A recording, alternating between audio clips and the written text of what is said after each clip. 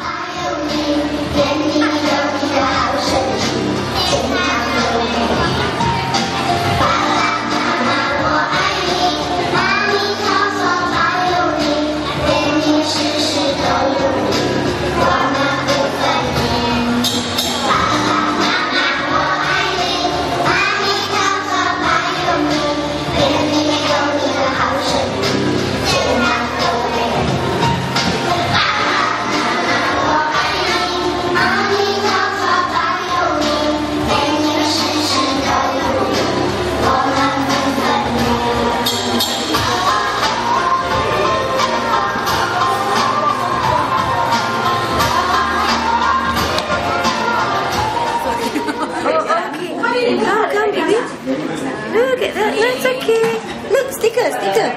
Sticker.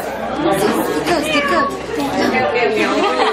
It's a big, nice sticker. Then you can put it in your book. It's okay, come, baby. Look, baby. Oh, it's okay. Don't move. It's okay. Ooh, it's okay. Ah, it's okay. You're a big boy. You're a big boy. man. Oh, okay, okay, okay.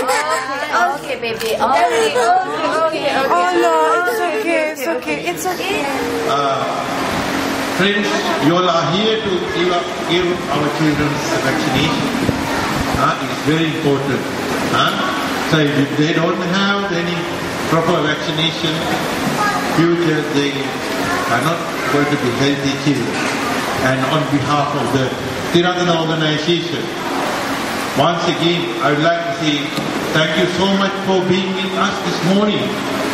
And I hope don't think, please don't think this is the first and last trip to Tir- Tiratana organization or Tiratana. Huh? This place is belongs to vaccination.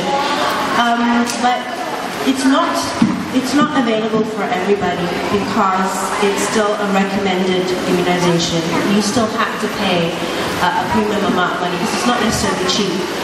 Um, you know, in all in all, one child it costs a couple of hundred to get the entire uh, immunization and vaccination.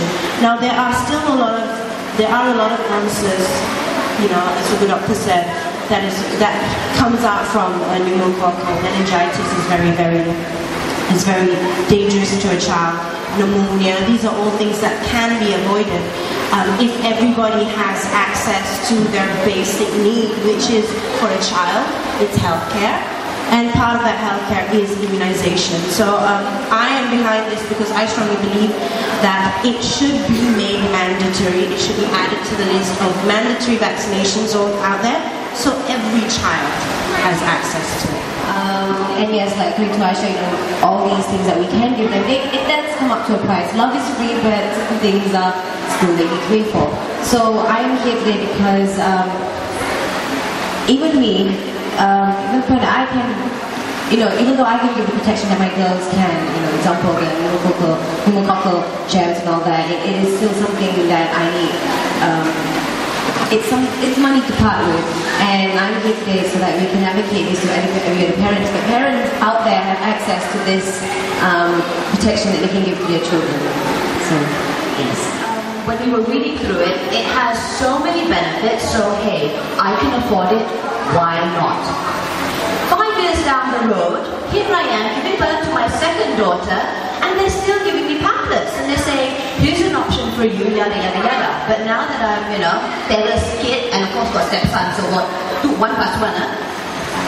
I it, didn't come to me. I mean, it was it was just like that. And of course, of course, I'm taking this new pneumococcal jab because it's so so good. I don't understand why, after five years down the road, it is not made compulsory. If it is so good, why is it not made compulsory? And it, and it, and of course, naturally, when I go to the counter to pay the bills, and I'm looking at the bills, and it's a little bit of a premium price, nonetheless, and I'm I'm alhamdulillah, I'm able to afford it.